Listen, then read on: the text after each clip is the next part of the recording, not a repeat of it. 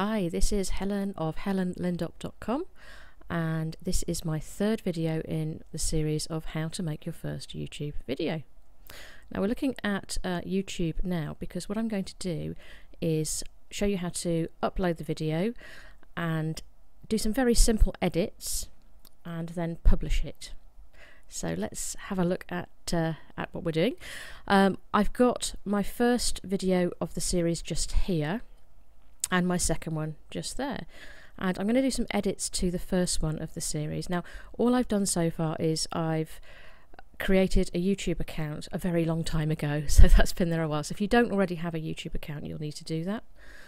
And um, and then I've just uploaded the video to YouTube. Now I've not shown you how to do that because it's easy. You just find an upload button inside YouTube itself browse to the file that you want and upload it. And that can take a little while, so I didn't want to put that in the video. so now the video's there and it's uploaded, I want to edit it. So I'm going to go to the YouTube video editor, which is just, as you can see there, youtube.com slash editor. And the YouTube videos that I have in this channel, so this YouTube account, are, uh, are sitting there. And it's the first video in the series I want to edit, so I'm going to drag that down to there. And you can do lots of edits, a surprising amount of editing in the YouTube editor. I'm going to keep this very simple because I think one of the big dangers with your first YouTube video is overwhelm.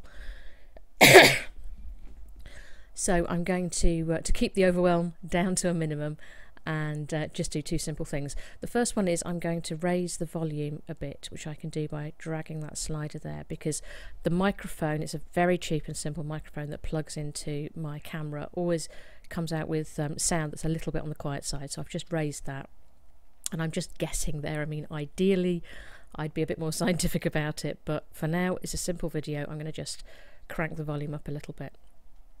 And then the other thing with my video camera is there's no remote control, so I have to press the button, as you can see here, and then walk in front of the video like that. Now that will be the case if you're using a smartphone video camera as well. So that's about the most common um, edit you need to do is just chop the beginning and the end of your videos. You'll also probably find that you have an annoying habit of pulling a funny face before you start talking, which I do. and when you finish talking, so that needs trimming off. So if I just scroll that back and then see the time that I need to cut that out. So that was about the two second point. So what I do is just drag this in and I know it's about two seconds. As I start talking at about three or four. Right, so that's too far. Let's take that back a little bit. And actually about four seconds I think is about right there. Let's do the same with the end. So, oh no, there's my terrible face. Oh. right, so I need to trim it a bit before that point, which is 322. So let's take it back to 321. So what we do is I'm just going to scroll to the end of the video and it finishes at 326 so let's take that back to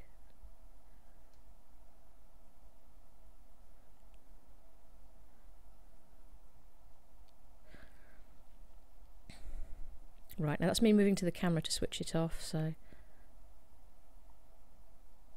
Oh dear. Let's go back a bit more.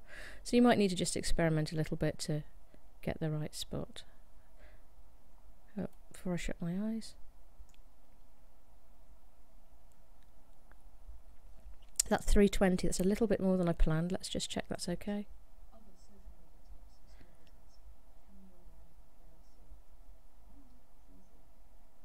Yep, that'll be fine.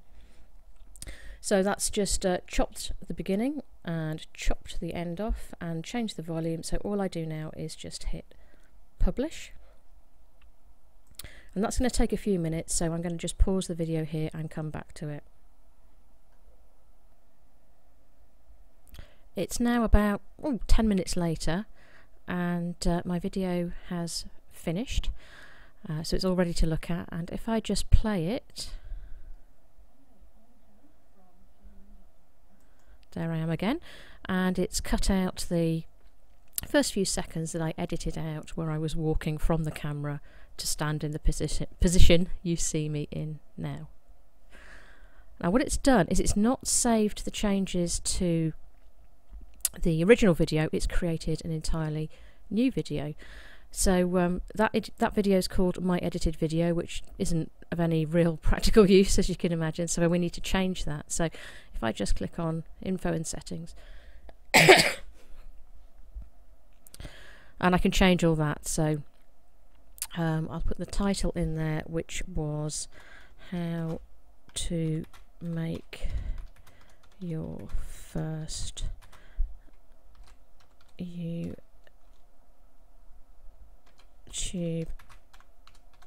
video. Oops.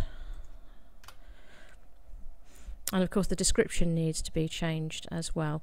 Uh, now I'm going to uh, keep this again like everything else very very simple because there is a, an art to writing a description I'm not going to get into that here but what I would do first of all is put in my URL to my blog because what I want people to do after they've seen this video on YouTube is to go through to my blog and to see all the other really useful stuff that's on there and become a follower. So I put that in there. Um, once I've got the post written that this video is going to appear in, I'll probably go back and I'll edit this and put the full post URL in because the post is going to have some useful hints and tips and four videos and uh, it would be great if anybody stumbles across this on YouTube if they go through and look at the entire entire tutorial with all those videos in it. So that's what I'm putting in there. And then under the description you need to put in just a, a simple description of what the video is about. So if anyone sees it on YouTube they will be tempted to watch the whole video. And then if I just scroll down a little bit you can put tags in there. So I'll take YouTube editor out because that's not very useful uh, but I'll you put in some relevant keywords. Oops let's click in the right place. Put in some relevant keywords. Again it makes it easier for you to be your video to be found. There we go. So I have YouTube and I'll put in um, make video for now Okay, now YouTube does save that occasionally. Um, if it hasn't been saved, you can click Save Changes. That's always a good thing to do. And at the moment, that video is private, which is a good idea because you don't really want people watching it while you're editing it. You want it finished and uh, complete and, you know, before it's viewed. So at the moment, it's finished as far as I'm concerned anyway, and I want to make it visible. So I change that to public. And then it can be shared from that point. So I've got a tick in that box. That's something I've previously set up. So whenever I publish a video to YouTube it will automatically share it on Google Plus. And I can set it up for Facebook and Twitter if I want to as well. I like to um, put a sort of little personal message or an individual message in when I share it on on Facebook or Twitter. So I haven't set that up automatically, but you can do that if you want to. And then if I just save and share, that video is now available on for anyone to see on YouTube. Um, it's been posted out to Google Plus, and I can share it far and wide to as many people as I possibly can. And the way I would share that is copy the URL of that video, and I can paste that wherever, and that will link back to my YouTube video. One more thing that I didn't mention is that um, you get a choice of three thumbnails with YouTube. Now, if that's not a very attractive picture to, be displayed when people go to your video, you can change it to one of the others. uh, now, quite often that one's not much better than the one you had, but you know, at least you get a choice of three. Okay, so that's how to um, upload, edit, and publish a YouTube video. Thanks for watching. Bye.